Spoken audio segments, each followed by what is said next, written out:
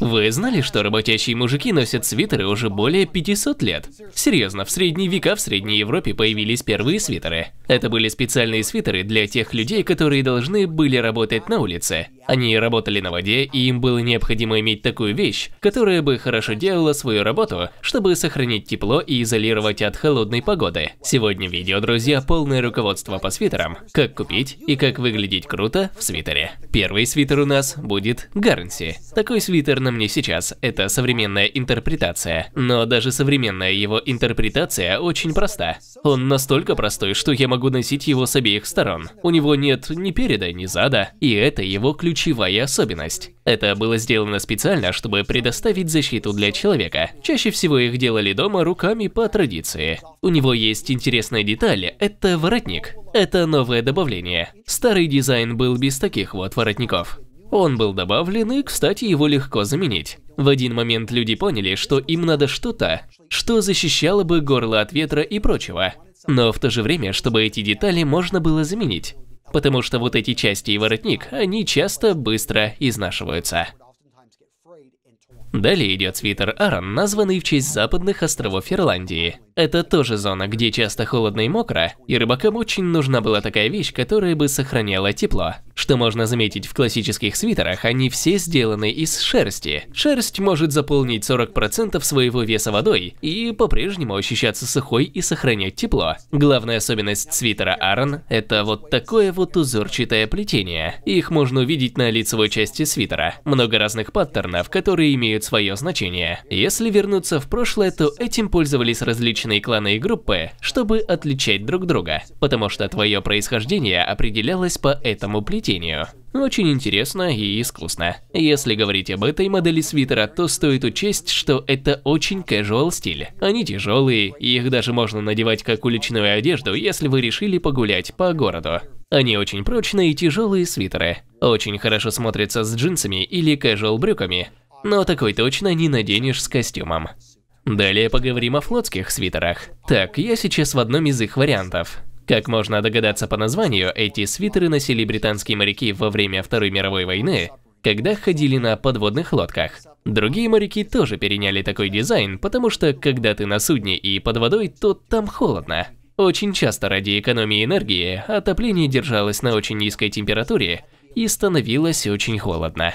Поэтому необходима изоляция, и нужна такая вещь, которая, если бы могла и намокнуть, так как когда выбираешься на поверхность, на тебя попадают брызги воды, но при этом ты бы не сильно промок. Также важно, чтобы свитер плотно прилегал к телу, потому что приходится двигаться в тесном пространстве. Так что нужна была очень функциональная вещь. Вы, наверное, заметили, какой большой этот свитер. Также воротник – это крайне большой воротник.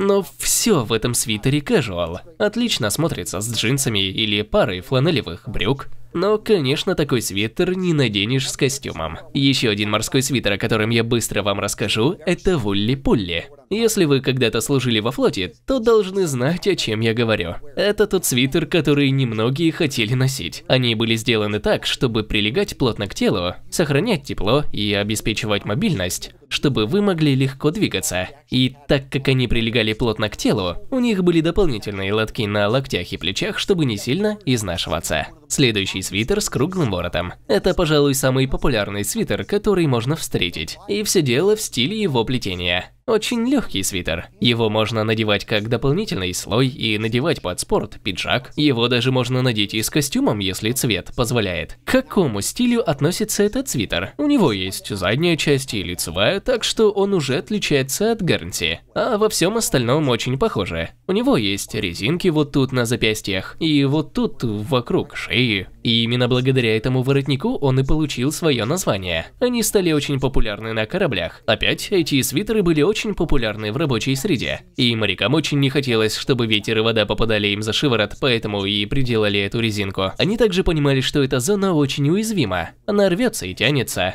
Поэтому его сделали таким, чтобы его легко можно было починить. Благодаря тому, что этот свитер очень популярный, то он существует в большом количестве цветов и рисунков. Если вы покупаете себе первый такой свитер, то выбирайте простой. Очень хорошо будет смотреться темно-серый или обычный серый. Почему я говорю только серый? Потому что он подойдет практически ко всему. Серый – это нейтральный цвет. Ну или вы можете выбрать то, что вы уже и так носите. Например, вы хотите синий, и это сработает с тем, что у вас уже есть в гардеробе. Суть в том, что не стоит покупать себе что-то очень пестрое. Разве что как рождественский свитер для вечеринки. Ну это еще куда ни шло. Но вот что лучше сделать, это приобрести такую вещь, которая бы работала с вашим гардеробом. А теперь о стиле, плетении. Чем оно легче и лучше прилегает к телу, тем, по моему мнению, это лучше. Конечно, не впадаем в крайности. Суть в том, что лучше, когда свитер вам по размеру, потому что свитеры очень сложно подгонять потом по размеру. Вы можете попробовать отнести свитер тому, кто умеет вязать, чтобы он его поправил вам. Но если он короткий, что значит короткий? Если вы поднимаете руки и у вас голая поясница, это очень коротко. Если вы подтянете свитер вниз и он будет на 10 сантиметров ниже вашей линии пояса, это нормально. Но вам не нужен свитер такой длины, чтобы он закрывал вашу задницу. Это слишком длинный свитер. Обычно у свитера будет резинка вокруг пояса, и пока она находится на уровне вашего пояса чуть ниже, то это отличный размер. Теперь поговорим о V-образном свитере. Второй по популярности стоит сразу за круглым воротом. По моему мнению, такой свитер самый взаимодополняемый, который только можно иметь. Мне кажется, мужчины должны чаще носить такие свитеры. Мне в них нравится, что их можно надеть с чем-то попроще. Например, с джинсами и рубашкой, и парой брогов. А также я могу надеть его с белой рубашкой и casual костюмом, ну или даже с бизнес-костюмом. В непогоду с черными Оксфортами будет смотреться отлично. У меня в руке свитер темного насыщенного цвета. Мне кажется, что такие цвета очень хороши, когда у вас есть много свитеров. Но если вы только начинаете, хотите купить себе первый V-образный свитер, то лучше взять серый. Может что-то потемнее, ну или бежевый, или коричневый, особенно если у вас в гардеробе много синего цвета. Отлично будет смотреться со штанами. Такой вот бежевый отлично будет смотреться с синим цветом. Так как V-образные свитеры популярные, то их можно встретить в очень разнообразном исполнении. Я говорю о материале. Это может быть кашемир или шерсть. Ну, конечно, это может быть слишком дорого для многих людей. Поэтому есть бренды, которые используют и синтетику. Также есть и хлопковые свитеры. Стоит понимать, что вы берете. Если вы решились на хлопковый, то вы теряете в качестве изоляции. Конечно, такой свитер будет легкий, он даже может быть летним. Да, представьте себе, есть такая штука, как летний свитер. Ну или если это синтетика, то стоит понимать, что вы идете на компромисс по качеству, зато выигрываете в цене. И в нем будет некоторая смесь из шерсти. Если вы видите, что это переработанная шерсть, то стоит быть весьма аккуратным, потому что эту шерсть часто использовали. И она уже не такая плотная и крепкая, как свежая. Она будет не такого хорошего качества, и будет быстро скатываться. И такое часто происходит со свитерами после того, как вы в них походите некоторое время. Их можно снять специальной машинкой или обычной бритвой. Далее у нас идет высокий ворот. Наверное, вы спрашиваете, а в чем разница между таким и классическим подводным свитером? Ну, во-первых, это будет вес свитера. Заметьте, что этот свитер не такой громоздкий, как подводный. Так что его можно надеть как прослойку. Часто этот свитер не только хорошего плетения, но также в нем используются хорошие материалы материалы. Шерсть, конечно, отличный материал, но она не будет настолько мягкой, как кашемир. Кашемировый свитер, как этот, он будет очень тоненький. Часто его делают в несколько слоев, и это добавляет в теплоте и мягкости. Он будет куда более приятным и теплым, чем шерсть. Шерстяные свитеры могут колоться, у кашемира такого не бывает. Если вы взглянете на волокна, то вам сразу станет понятна разница. Размер кашемировых волокон гораздо меньше. У шерсти же часто бывают заусенцы, поэтому она так колется. Вы можете носить свитер с высоким воротом как самостоятельно, так и со спорт-пиджаком, с casual-костюмом. Многие из вас могут сказать, о нет, высокий ворот это не мой стиль. Ребята, не говорите нет, пока не попробуете.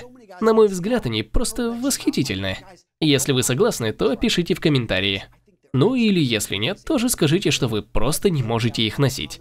Но попробуйте хоть разок, наденьте отличный свитер из кашемира. Он не только круто выглядит, он еще функциональный. Он держит тепло, когда на улице холодно. Это лучше, чем рубашка, и вы выделитесь на фоне остальных. Далее у нас идет вязаный поло. И знаете, я смотрю на себя в зеркало и думаю, а вообще надо ли мне надевать два воротника рядом друг с другом? У вас есть на этот счет мнение? Пишите в комментариях, но я думаю, что такой образ можно надеть. Так что я останусь в этом. Суть в том, что у этого свитера мягкий цвет, а у рубашки пуговицы. Так что этот свитер он будет что-то среднее. Он как бы не супер casual. Я могу надеть его как дополнительный слой, но также могу надеть его под спорт-пиджак, но он не будет такой же формальный, как круглый ворот или V-образный свитер. Вот этот свитер, у него есть две особенности, которые вы могли заметить. Первое, у него есть пуговицы. Вот тут, смотрите. Кстати, пуговицы всегда делают свитер более формальным, чем молния. Молния считается более спортивной. Но вот эти пуговицы, они не идут на пол свитера, но при этом почему-то так говорят. Также у него есть рисунки. В основном такие рисунки делают свитер очень casual. Они также привлекают внимание к грудной области, так что если вы здоровяки и хотите привлечь внимание к своей груди, потому что у вас больше веса на талии, этот свитер будет отличной опцией для вас. Но учтите, что это casual свитер. Отлично смотрится с джинсами или чиносами, или хакки но такой точно не получится надеть со слаксами или костюмом. Я сказал, что молния – это casual. Означает ли это, что не стоит покупать свитер с молнией? Конечно нет. У меня, например, есть парочка таких свитеров в гардеробе. Просто надо учитывать их ограничения. Это будет очень casual стиль. Возможно, его можно было бы надеть со спорт-пиджаком во время поездки, я так делаю. Но точно никогда бы не надевал его с костюмом потому что из-за молнии его не получится надеть с чем-то более формальным, чем спорт-пиджак. Или если я путешествую, то это очень удобная вещь, чтобы накинуть на себя. Если стало прохладно, то ты просто застегнул молнию, так что очень функциональная вещь. Далее у нас идет свитер-жилет. Итак, это очень функциональная вещь. Ее можно надевать как дополнительный слой, и у нее интересная история. Так что если вам нравится, то вы можете смело добавлять ее в свой гардероб. Далее идет кардиган. Главная особенность этого свитера от всех остальных это то, что он не пуловер. И у него есть вырез тут в лицевой части. В нем используются либо пуговицы, либо молния. Еще часто можно встретить на кардиганах, но это не обязательно, это карманы. А также еще можно увидеть лацканы. В этой части свитер складывается так же, как мы это часто видим у пиджаков. Конечно, не каждому нужен кардиган, но мы можем встретить очень большое разнообразие кардиганов из разных материалов и цветов. Некоторые будут casual, а некоторые будут легкими и использоваться как дополнительный слой под пиджаком. Друзья, если видео было полезным, ставьте лайки и подписывайтесь на канал.